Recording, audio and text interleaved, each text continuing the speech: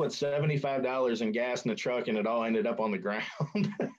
That was Mike Maroney. He's the founder of a nonprofit here in Louisville called Shirley's Way. He found out this weekend that his truck was vandalized. Someone drilled a hole in the gas tank, costing the nonprofit about $75 in gas.